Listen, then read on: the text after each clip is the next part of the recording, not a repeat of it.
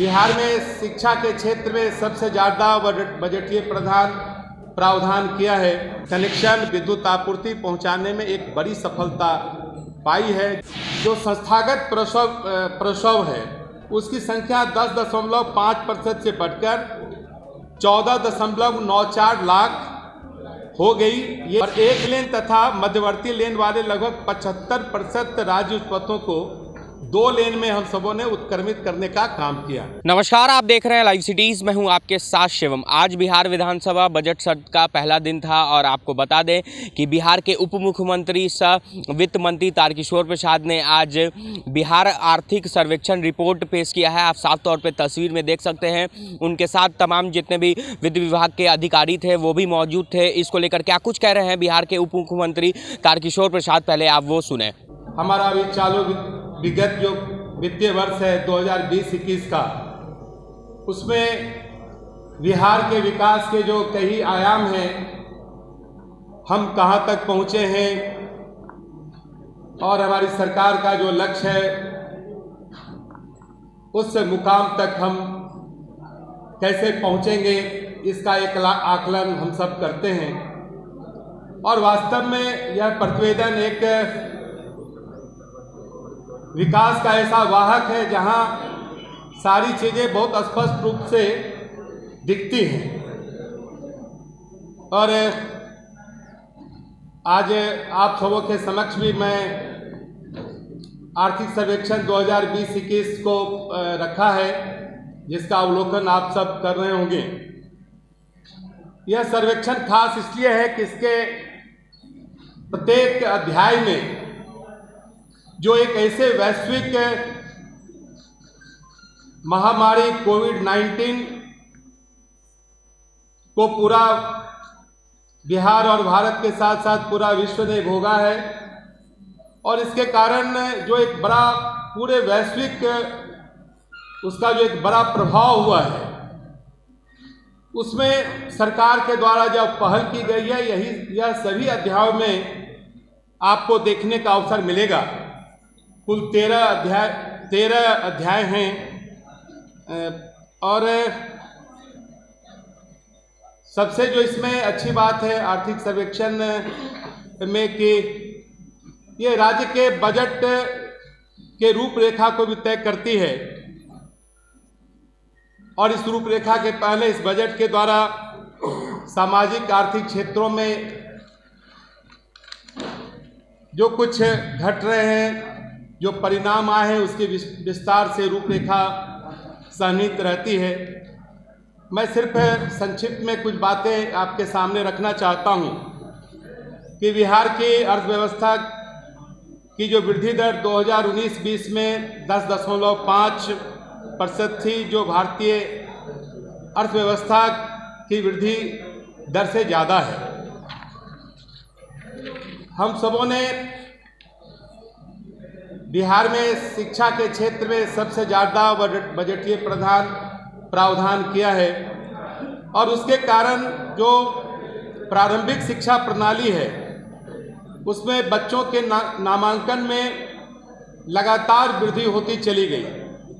और प्राथमिक स्तर पर कुल नामांकन अगर हम वित्तीय वर्ष 2018-19 की चर्चा करें तो एक लाख और उच्च प्राथमिक स्तर पर कुल नामांकन उनहत्तर दशमलव तीन चार लाख था। और इसके कारण एक जो बड़ा प्रभाव हुआ, जो ड्रॉप आउट का जो रेट है, उसमें लगातार गिरावट आया। ये एक बड़ी बात थी, क्योंकि बच्चे आने वाले दिनों में हमारे बिहार के विकास के वाहक होने वाले थे, वो होने वाले हैं। और ये सारे बच्चे हमारे बहुत ही आने वाली पीढ़ी के रूप में बिहार की ज़िम्मेदारी उसके कंधे पर जानी है। अगर शैक्षणिक क्षेत्र में वो, अगर अपने लक्ष्य को प्राप्त नहीं करेंगे तो फिर कई चीज़ें छूट जाएगी क्योंकि शिक्षा के बिना, किसी भी राज्य के विकास की कल्पना भी हम बहुत नहीं कर सकते हैं। और उसी प्रकार से स्वास्थ्य को हम सबों ने प्राथमिकता में रखा है। और उसका एक बेहतर परिणाम आया कि 2014-15 से 2019 बीच के बीच में जो संस्थागत प्रसव प्रसव है, उसकी संख्या दस दशमलव पाँच प्रतिशत से बढ़कर चौदह दशमलव नौ चार लाख हो गई।